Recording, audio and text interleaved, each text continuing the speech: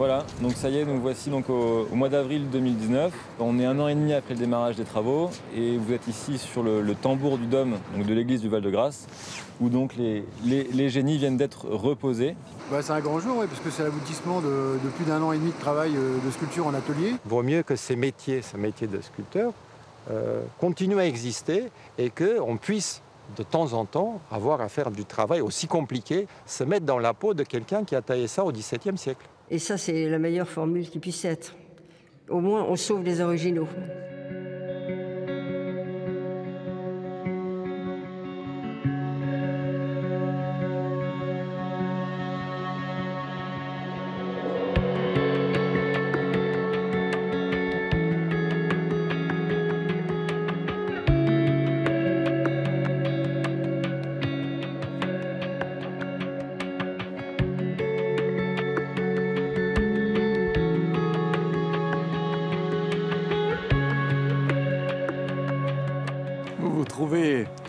L'école du Val-de-Grâce, un lieu historique qui a une importance toute particulière pour le service de santé des armées. On peut dire que c'est le cœur du service de santé des armées.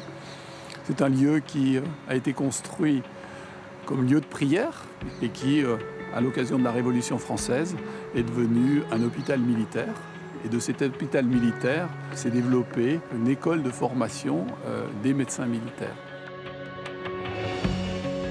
l'école du Val-de-Grâce est devenue, depuis 2016, le seul occupant euh, de ces lieux. C'est vrai que nous sommes également responsables euh, du devenir de ces bâtiments qui, sont, euh, qui nous ont été légués par l'histoire et dont nous avons la, nécessité d'entretenir.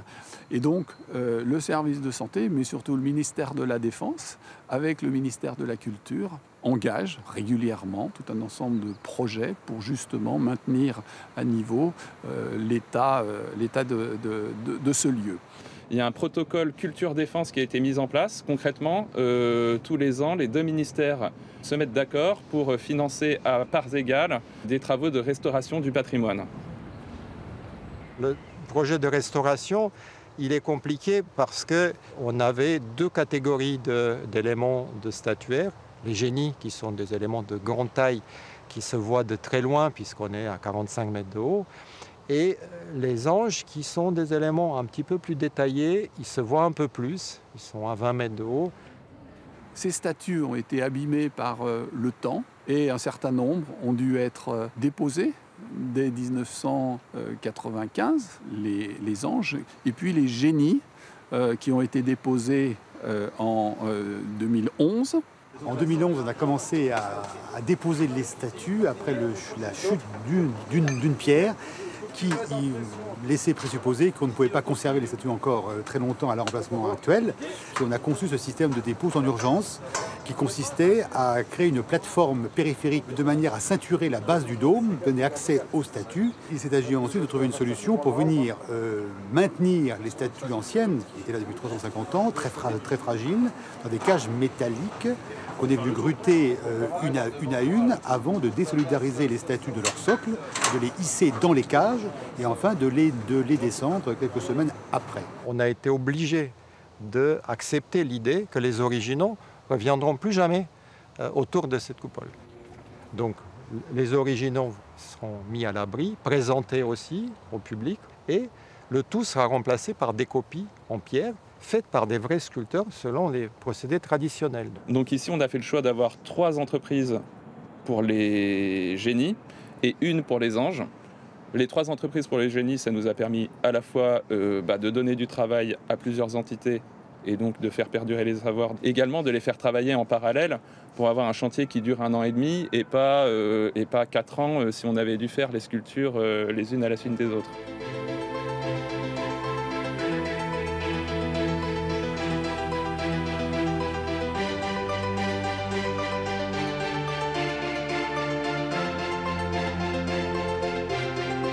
Une autre caractéristique du projet, ça a été un choix délibéré en début de projet, c'est euh, le recours à des techniques différentes pour les anges avec le moulage, la prise d'empreinte et la pierre reconstituée, et pour les génies, la taille directe dans les blocs de pierre.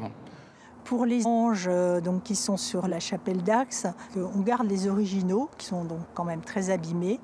Le choix a été fait de les déposer et de les conserver dans la crypte, à l'abri, donc euh, hors d'eau, hors d'air, et de faire des copies. Et on a considéré que le moulage était peut-être le plus fidèle au, geste du sculpteur, de Philippe de Buister, avec euh, toutes ces délicatesses dans le mouvement des plis, dans les attitudes. Enfin, c'est une très très belle œuvre de sculpture du XVIIe. Alors Buster est un flamand d'abord. Les flamands ont un fort tempérament. ils sont vigoureux d'habitude. Il euh, quitte Anvers, où il est né, pour arriver à Paris en 1622. Et là, il était plutôt formé au travail du bois, le travail des huchers. Alors à Paris, il commence à travailler sur des carrosses. Euh, il faut bien qu'il s'emploie. Et l'année suivante, en 1623, il est agréé dans la maîtrise des peintres et sculpteurs. La maîtrise lui permet de recevoir des commandes, sinon il n'avait pas le droit de travailler, d'ouvrir un atelier, donc de prendre des apprentis, etc. Ce n'est pas un courtisan, voilà. C'est pas un homme de salon, c'est le contraire. Notre opération consistait à euh, un travail d'abord de restauration des originaux, que nous n'avons pas pu faire ces compléments sur les statuts d'origine.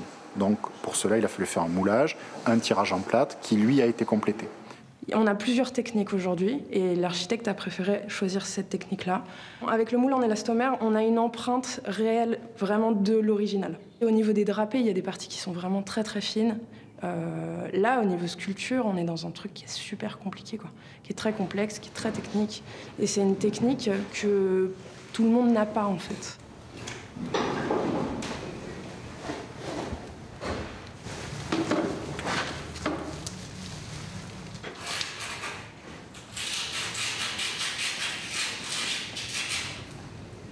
Donc là, bah, on a terminé le moule en élastomère qui est fait sur l'original. Et euh, on est en train de faire le tirage en plâtre, en fait, pour euh, pouvoir du coup avoir une réplique en plâtre. Et il y a un sculpteur qui va venir derrière pour faire les restitutions, en fait, réparer, remettre comme on pense qu'elles étaient à l'époque par rapport aux archives.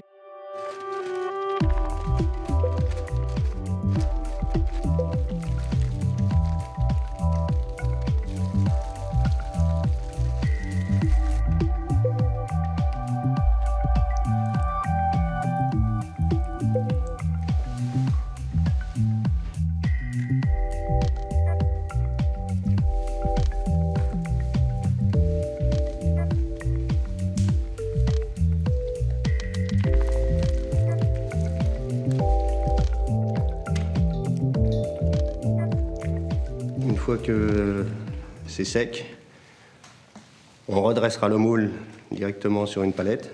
On démoule, euh, on enlève les coques, l'élastomère et euh, on a la copie de, de l'original.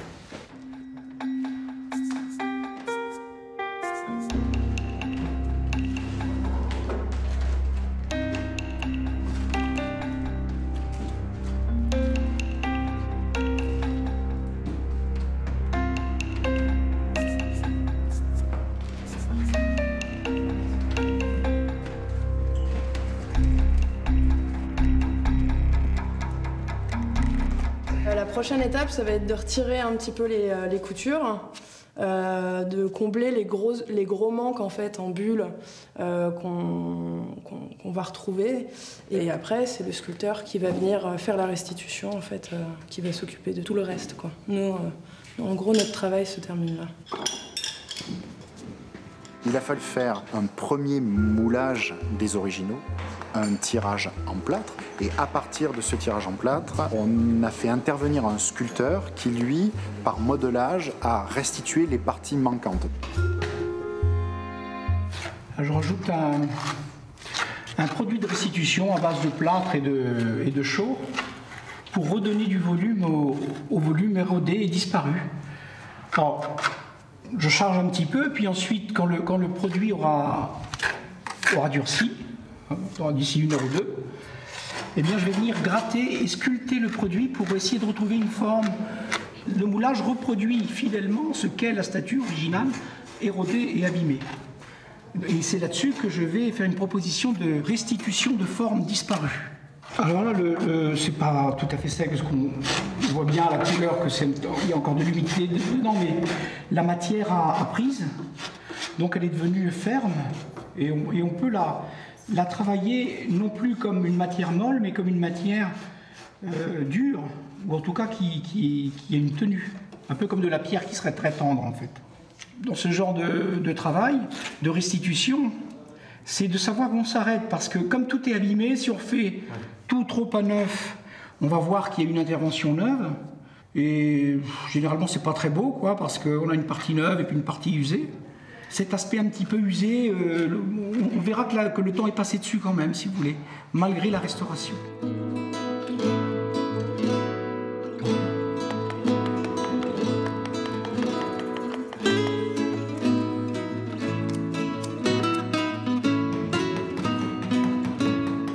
Assez amusant. Il y avait une copie qui avait été faite en 1870 à peu près d'un des anges, qui était pas mal.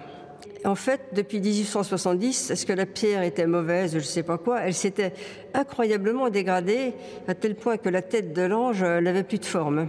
Donc il a fallu réinventer complètement une tête. Ce que M. Vico a fait et ce qu'il a proposé, qui était vraiment euh, étonnant, qu'il a vraiment un savoir-faire qu'on peut euh, on doit reconnaître dans cette restauration, dans cette restitution plus exactement, puisque ce n'est pas des restaurations, ce sont des restitutions, aboutissant à des copies.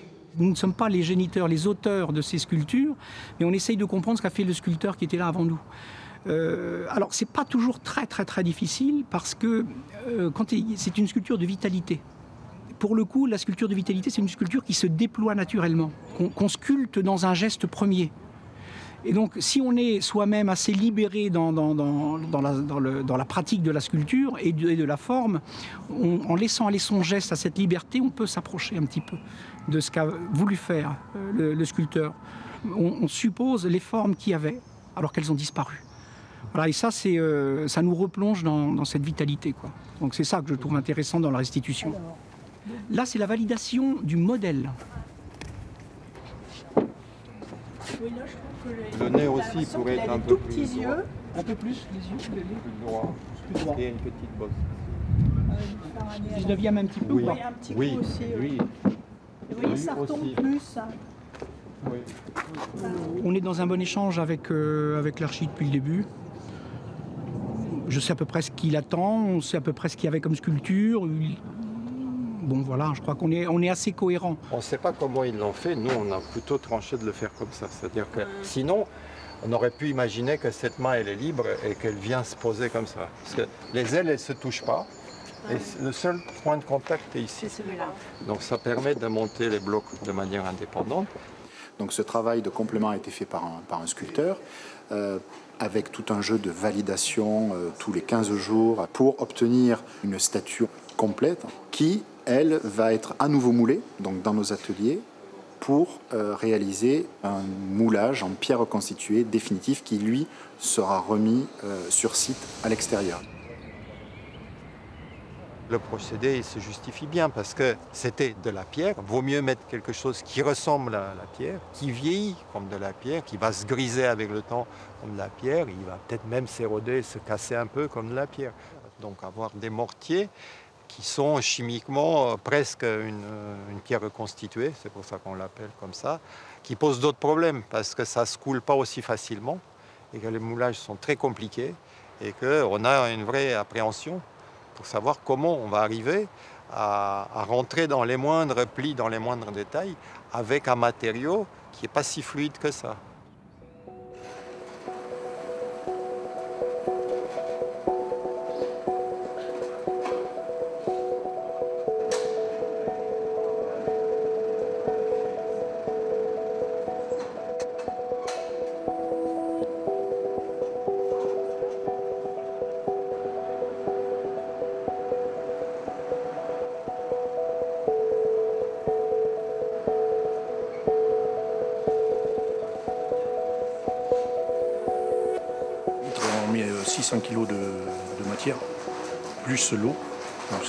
À peu près 700-800 euh, kg à l'intérieur qui vont être coulés. Et c'est pour ça qu'on a consolidé le, moule pour pas qu'il y ait une déformation. Donc le, le moulage se fait en une seule fois, à une seule coulée. On coule tout l'ensemble et on met une aiguille vibrante pour évacuer euh, l'air, pour éviter les bulles.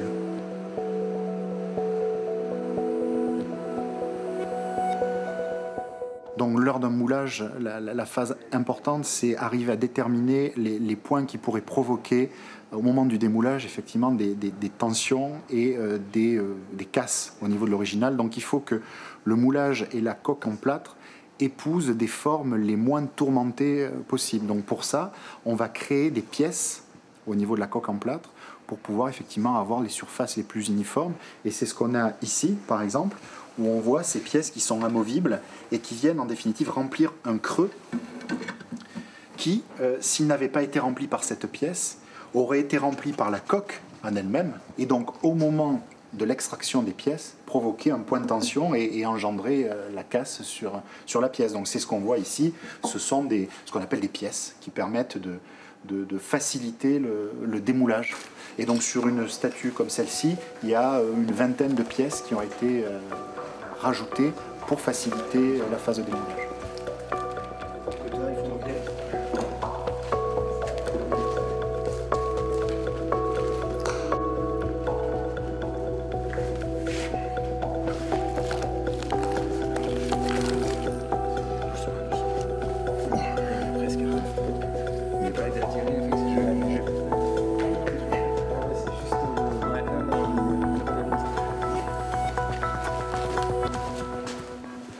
La, statue est, bien sortie. Tous les points de fragilité euh, paraissent euh, intacts. Au niveau des ailes, justement, il n'y a pas de, il fissure.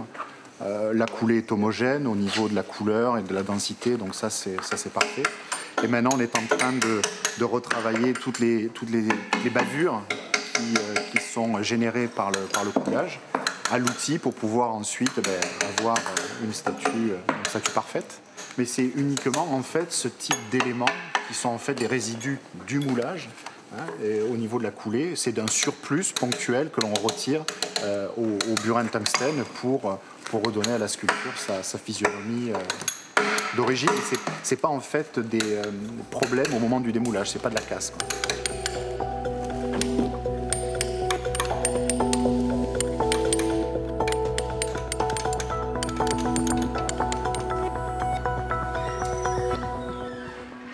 Comment est-ce qu'on peut donner la, la touche finale, que ça soit tout aussi bien que les études, l'original, et non pas quelque chose qui a subi. Qui un euh, peu dénaturé par le, le- le bruit. Oui, c'est à la marge, mais effectivement, c'est important.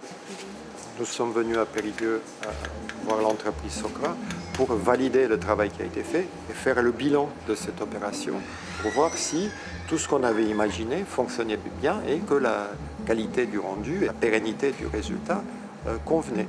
C'est sûr qu'il y a aussi un intérêt technique de venir ici pour comprendre comment on fabrique ces choses-là et quel est le processus, parce qu'il n'y a pas qu'un seul moyen d'arriver à ce résultat. On saura mieux pour la prochaine fois. Ça permet aussi de, comprendre et euh, voir à l'avance quelle est la méthodologie qui peut convenir le mieux.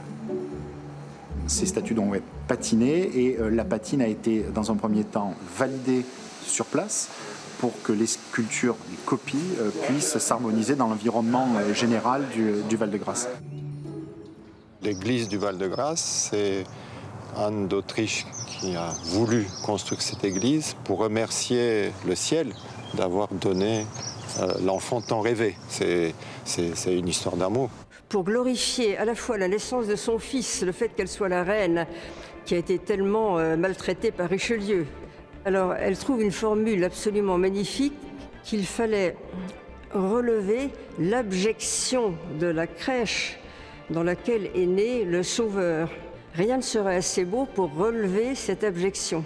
C'est pourquoi le décor sera effectivement magnifique, tant à l'extérieur qu'à l'intérieur. L'église, est construite dans les années 1645, c'est la pose de la première pierre, et elle est terminée en 66-67. On a deux chantiers, un chantier de moulage et, euh, et de copie par moulage qui est euh, dans la crypte, et un chantier euh, qui se fait dans l'atelier qu'on a construit exprès pour la taille des génies. Donc rien que cette idée de faire de la copie par taille directe, de manière artisanale, ça nous a obligés aussi de créer un lieu où on puisse retailler ces sculptures. Donc le lieu, il est sur place, c'est un atelier qui est construit pour ça, et c'est là où on, on, taille. Se mettre dans la peau de quelqu'un qui a taillé ça au XVIIe, c'est assez magique.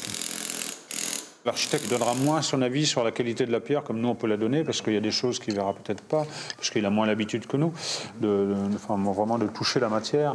Mais euh, si lui donne son avis, déjà sur le choix de la pierre au départ, c'est lui qui donne son avis. Ça. Mais après sur le, le, choix du bloc, non, moi, il nous laisse faire. On va essayer de choisir des pierres qui ont le moins de défauts possible.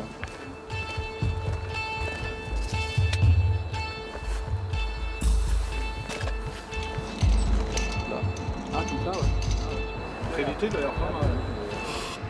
Non mais après là on choisit, c'est un, un, premier choix euh, à première vue, quoi, parce qu'après il faut vraiment les recouper sur les six faces pour bien les choisir justement, pour voir après quand le bloc est découpé proprement, on peut voir s'il y a ces fameuses fissures dedans qu'on surveille de près. Enfin bon, là ici ils sont très ouverts, mais c'est pour vous montrer les défauts qu'on redoute le plus, ce sont ceux-là, ces, ces poils-là.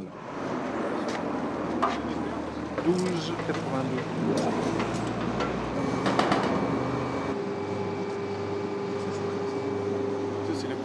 On peut avoir un bloc qui part de la carrière à 4 tonnes à peu près, et au final, la statue finie pèse euh, une tonne. Ah ben après, on l'emmène au Val-de-Grâce, on l'emmène à l'atelier forain pour le tailler, pour faire une sculpture dedans. Là, c'est vraiment la, matière première, celle qu'on va emmener là-bas pour, euh, sculpter, la statue.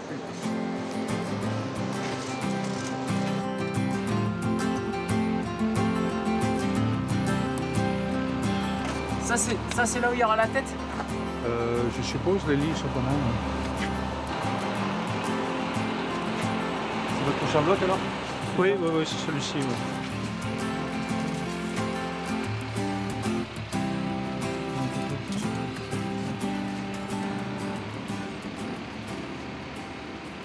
On voit bien que les sculpteurs, ils ont besoin de s'entraîner, ils ont besoin de faire du travail à cette échelle-là, de faire de la sculpture monumentale et de partir d'un bloc et tailler et sortir un personnage dedans.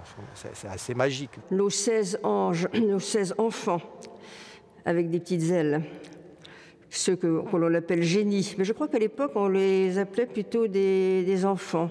C'est pas Buster qui a forcément sculpté les, les, les 16 génies de, de, de pied en cap, enfin de, de A à Z, mais qu'il avait un atelier, mais c'était quand même lui le maître de l'atelier et qui donnait les, instructions et corrigeait, euh, on imagine, euh, le résultat final. Il est le seul à être capable de conférer au visage, par exemple, au corps également, mais au visage, cette espèce de velouté qu'on trouve chez lui, ce qu'on appelait au XVIIIe siècle euh, la mollesse des chairs. S'il peut, ouais, carrément mou, ouais, jusqu'à toucher presque aux chaînes là-bas.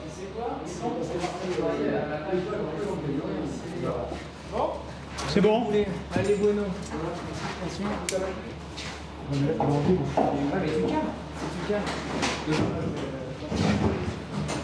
Moi je suis à zéro de mon côté là, vous êtes bon là-bas? Les génies étant dans un état sanitaire très dégradé, souvent il manque un élément important pour comprendre cette figure. On n'a pas souhaité que les interventions se fassent sur les génies, mais sur des copies des génies, en passant par donc un scan 3D chacune des statues. Alors là, on va aller voir euh, Julien, un collègue qui est justement en train de scanner une statue comme on a pu le faire euh, sur le Val-de-Grâce. Voilà, donc Julien est en train de faire ses, premières zones de scan. Bah, sur des grandes pièces comme euh, celle du Val-de-Grâce, en fait, euh, ce que j'ai tendance à faire, c'est démarrer du milieu.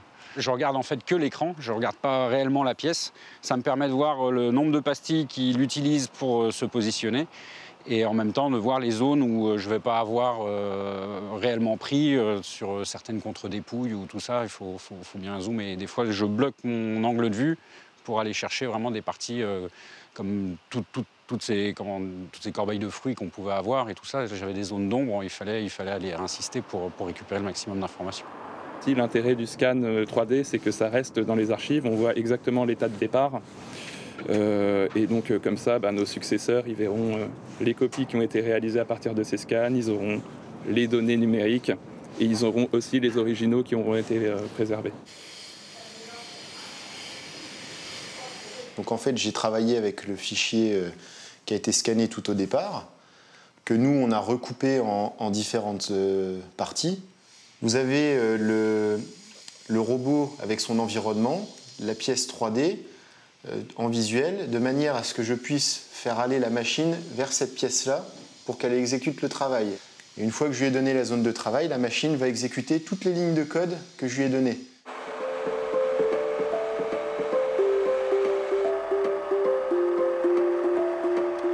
Faut s'imaginer qu'on est parti d'un bloc qui était rectangulaire. On a utilisé différents outils pour enlever euh, des gros surplus de matière avec des presses différentes. On va enlever les matières étape par étape pour arriver sur un outil de finition comme celui-ci, proche de la réalité de ce qu'on a sur le fichier 3D.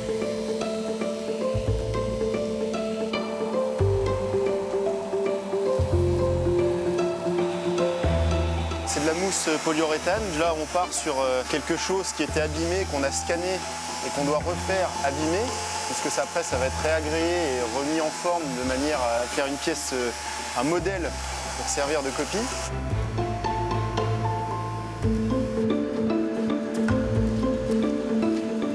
on va assembler avec la partie basse. Il nous restera à coller. Voilà l'avant comment il va. Donc là on n'a plus qu'à livrer sur le Val-de-Grâce. La statue fait avoisine les 60 kg. La chose positive, c'est que le sculpteur peut facilement manipuler après sa pièce pour pouvoir faire sa copie, la déplacer euh, sans avoir euh, trop de charge. C'est sur cette maquette en polystyrène que des compléments ont été faits.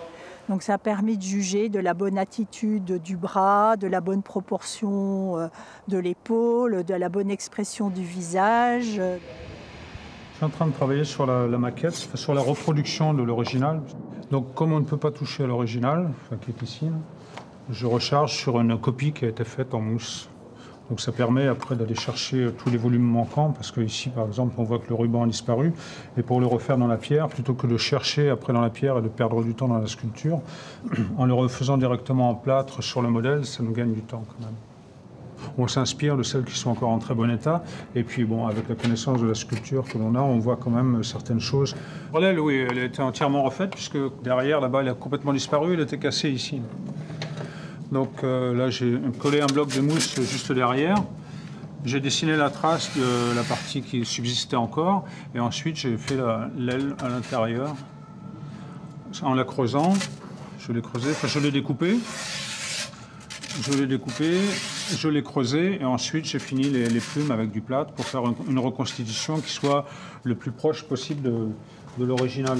Là, le modèle est fait, on n'a plus à se poser des questions. On installe la machine à mettre au point, on sait que l'aile vient ici, donc euh, tout, va bien, j'ai envie de dire.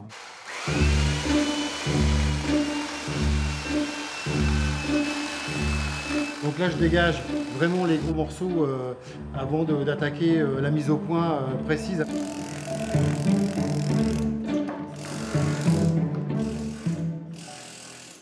Alors, je prends la machine à mettre au point. Je la positionne sur les, sur les, les trois points qui sont positionnés sur le modèle. Donc le but, c'est de retrouver ces, trois points cardinaux, hein, les trois points dans l'espace, sur le bloc capable. En fait, avec ces trois points-là, on peut, on peut copier la statue entière. Après, c'est une question de grandeur de machine, de machine à mettre au point. Donc là, en fait, je vais chercher le premier point sur le bras avec mon curseur.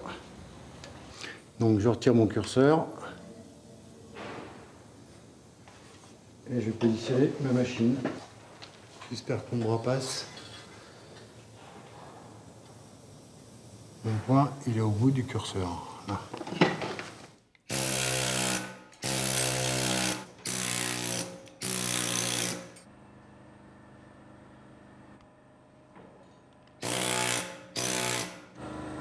Là, premier point sur le bras, il est, il est, pris.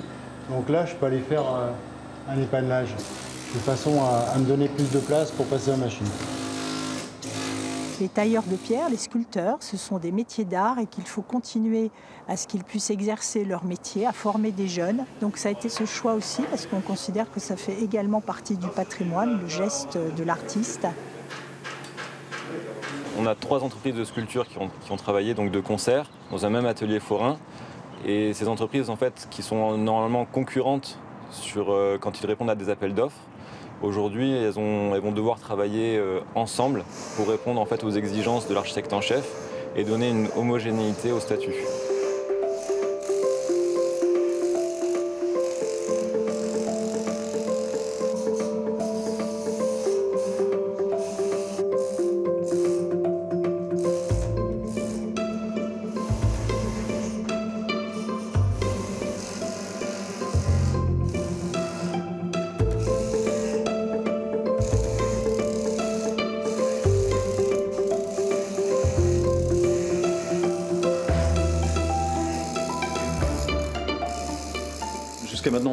De masse pour pas fragiliser euh, la statue quand on, évidemment, quand on tape dedans.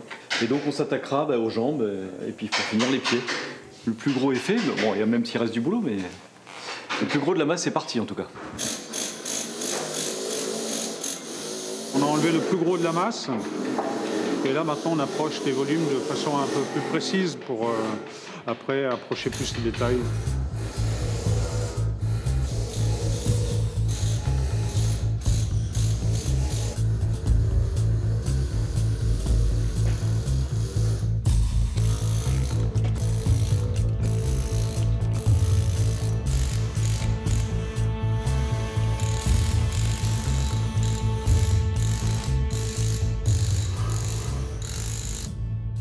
Pour ces 16 anges, il est payé 300 livres par enfant, ce qui est normal. Ils sont en pierre, en pierre de Saint-Leu.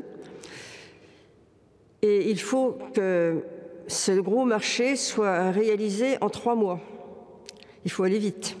Alors évidemment, il a un atelier avec des très bons ouvriers, des très bons artisans, c'est certain.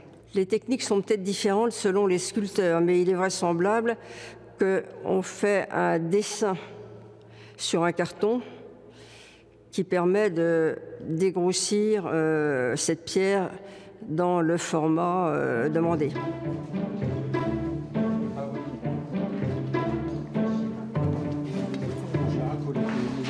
Entre les deux mèches, il manque un peu de volume sur la droite. Vous l'avez dit là et pas là-haut. On valide au fur et à mesure de l'avancement euh, bah, tout, tout ce qu'on peut voir comme choses à rectifier, euh, la forme des plumes des ailes, euh, l'expression des mains, euh, le regard. Et alors, en plus, pour les visages, c'est très compliqué parce que vraiment à un millimètre près, vous changez une expression, une expression de visage. Là, il n'y a pas grand-chose. Je suis. La dimension est liée par rapport à l'original, c'est pas là. Et puis les sculpteurs, ils sont assez différents.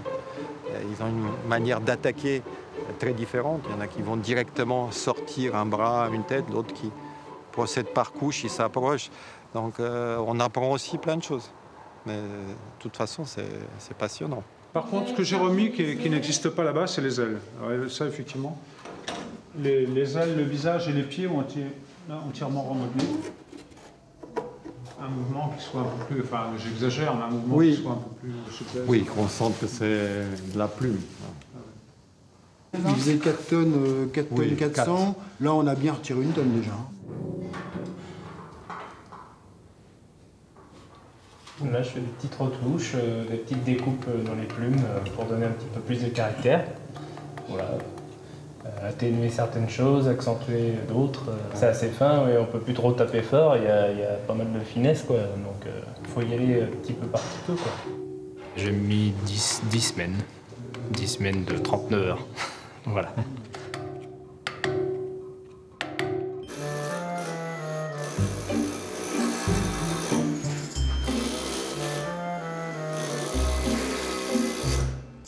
J'ai mon collègue qui l'avait fait un peu massive.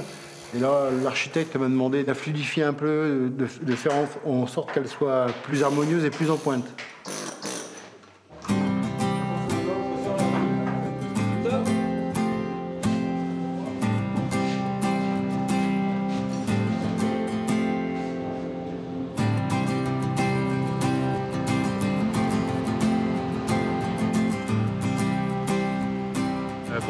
La prochaine fois qu'elle vole, c'est sur le dôme.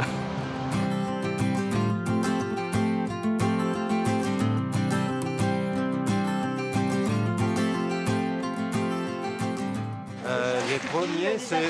Vous avez les trois premiers, là, qui sont 1, C'est 2, ça. 3. Non, mais pour voir s'ils ont déjà un peu pris une patine différente. Pas beaucoup. ou Pas trop. oui. Alors du coup, j'avais demandé à ce qu'on les mouille et qu'on leur passe un coup d'éponge pour euh, raviver D'accord. Cette oxydation naturelle, parce qu'elle commence à venir, mais il faut du temps. Ouais, c'est les euh, C'est l'oxyde de fer qui, euh, qui jaunit un peu, qui, qui donne cette couleur. On a fait graver à l'arrière la signature de l'atelier et l'année. Très bien. Donc, euh, Pour le successeur. on saura qui l'a fait. Il y a aussi un tout petit peu de poussière de On a quand même euh, un regard un peu différent. On a peut-être un regard euh, plus détaché aussi. L'architecte, il est dans son projet. Euh, Nous, on a une position plutôt d'équilibre. Bon, là, le choix a été fait pour les originaux de ne pas les remettre in situ, de ne plus les laisser en place parce que trop dégradés et que euh, bah, dans 50 ans, on ne saurait plus du tout à quoi ressemblaient euh, ces sculptures. Donc là, le choix a été fait de les déposer, mais néanmoins de les montrer ou d'en montrer une partie. Ça, c'est aussi quelque chose de, de très intéressant et important. C'est la meilleure des formules qui puisse être. Je regrette toujours quand on laisse en place des statues qui continuent à se détériorer et qu'on restaure tant bien que mal, mais qui vont continuer à se détériorer plutôt que de les remplacer par ce que l'on fait ici. Et ça, c'est la meilleure formule qui puisse être. Au moins, on sauve les originaux. Sur le dôme, si vous le regardez, euh, la sculpture manque. Et manque, et ça l'appauvrit, et il y a quelque chose qui est réellement en moins.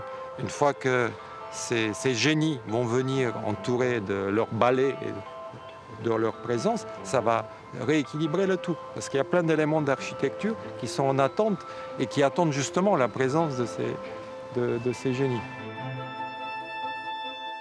Et puis aussi, il y a une logistique très particulière parce qu'on va travailler à la grue, à très grande hauteur, et avec euh, un site avec ses contraintes. C'est un travail très technique.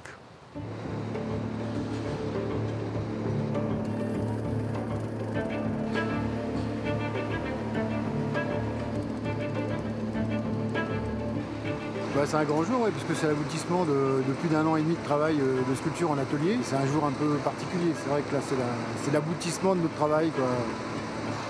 Et puis, euh, et puis c'est, les conditions sont, les conditions et le chantier fait que c'est vraiment un moment d'exception, même pour les sculpteurs. On n'a pas tous les jours l'occasion de faire une sculpture en pied de méthode traditionnelle de 3 mètres de haut, euh, dans un site aussi préservé, avec nos confrères à côté. Un tiers des statues ont été sculptées par mon, par atelier, un des derniers ateliers français qui a encore des, sculpteurs en propre pour faire ce type de, travail-là. C'est un travail extrêmement, extrêmement rare. Il y a quelques chantiers euh, seulement euh, par décennie où on a l'occasion de s'exprimer sur des sculptures de cette, qualité-là.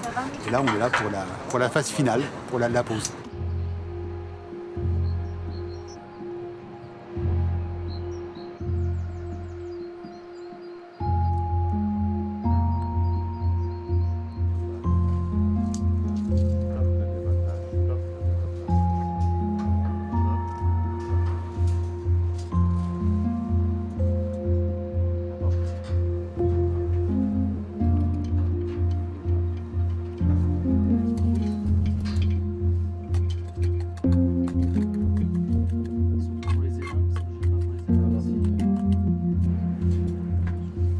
Descends là, encore, descends encore. Non, il faut qu'on revienne un petit peu ici. Il faut qu'on recule un petit peu. Il faut reculer. Descends encore, descends encore, descends, descends. On est comment ici Là. Oui. Là on est bien. Là on est bien. Là on est pas mal. Hein. Là devant on est, on est plutôt équilibré. Ça va. Ça va? Oui. Vous êtes comblé. oui, tout à fait. Mais c'est un travail, euh, c'est une très grande équipe. Ça fait des années qu'on réfléchit à ça. Et puis eux, ils ont fait un très long travail de préparation. Donc euh, tout, marche comme on, on veut. Et puis on sent aussi que ces statues, elles sont neuves, elles sont costaudes, elles vont durer. On voit bien qu'on pose, ça ne bouge pas. Euh, bah, c'est un moment un peu hypnotisant. On ne sait pas trop quoi regarder entre la, vue, l'emplacement qui est magnifique et cette sculpture qui est la dernière qu'on a réalisée. qui, euh, a été juste finie euh, lundi dernier, donc elle a un peu plus d'une semaine. Et de la voir si vite en place, alors que les autres, ça fait plus d'un an et demi qu'on attend, qu'on imagine avec rêve ce moment, c'est. C'est super émouvant.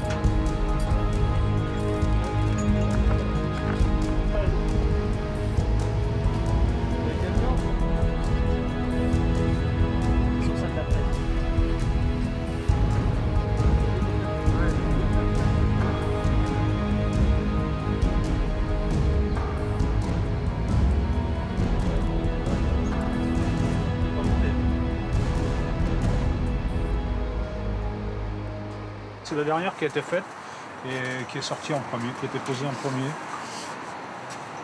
Ça fait quoi de, de l'avoir en place euh, de l'avoir, euh, Ça fait drôle, ça fait drôle. Enfin, le plus drôle, c'est de les voir en fait d'en bas, parce que là, on les voit, ça a l'air monumental quand on les sculpte, et puis euh, quand on est en bas, en fait, on se dit tiens, quand même, j'aurais bien remis un mètre de plus, ça aurait été pas mal, parce que finalement, ils paraissent petites. C'est la fin, puisqu'on voit que tout fonctionne. Il fait beau, ils ont bien bossé, on est dans les temps. On est très satisfait de l'opération. Euh, C'était une opération atypique euh, d'avoir comme ça l'occasion de réunir autant de savoir-faire, d'expériences euh, spécifiques au métier de sculpteur.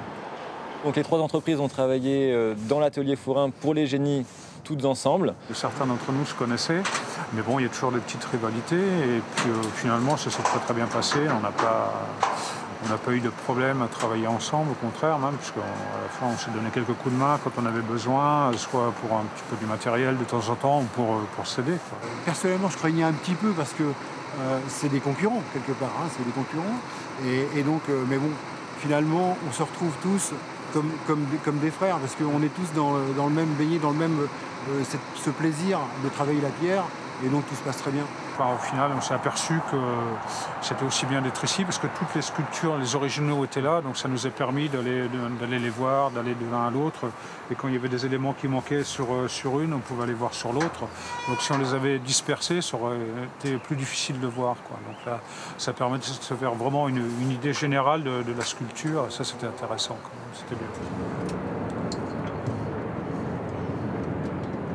Et donc là, on est content d'avoir des génies neufs qui sont sur l'église, qui retrouvent son cachet euh, d'origine, et également de pouvoir préserver les originaux qui sont maintenant euh, exposés dans le cœur des religieuses à l'intérieur, euh, au chaud et au sec, et qui pourront être découverts par les visiteurs du musée de l'école du Val-de-Grâce. La présentation au public des, des génies qui sont en meilleur état, et puis celle des anges. Donc c'est deux lieux de- d'exposition différents avec des moyens pour que le public puisse s'approcher, regarder de près les originaux. Je pense que c'est l'exemple, euh, vraiment un exemple concret de, ce que peut faire encore l'homme aujourd'hui. On a encore des, des personnes en France qui sont capables de faire d'excellent travail à la main. Et c'est important de garder ce patrimoine humain euh, pour pouvoir euh, continuer dans les années futures. Même si l'église du Val-de-Grâce, je ne dirais pas qu'elle se suffit à elle-même, mais ça vraiment, on va comprendre l'œuvre d'art totale, quoi, avec ces éléments sculptés qui prolongent les pilastres, qui rythment ce tambour. euh, ça va redonner. Alors évidemment, au début, la pierre va paraître un peu claire. On va voir que c'est des nouvelles sculptures, mais je pense qu'au fil des ans, ça va se patiner. C'est assez magique d'ailleurs de voir que d'un bloc inanimé, au bout de trois mois, on sort un personnage presque vivant. Ça, ça, ça valait le coup de revivre cette expérience-là. Et je pense que c'est vraiment un, bel effort euh, fait de la part euh, à la fois du ministère de la Culture, du ministère des Armées sur ce projet de redonner euh, à cette église sa, toute sa splendeur.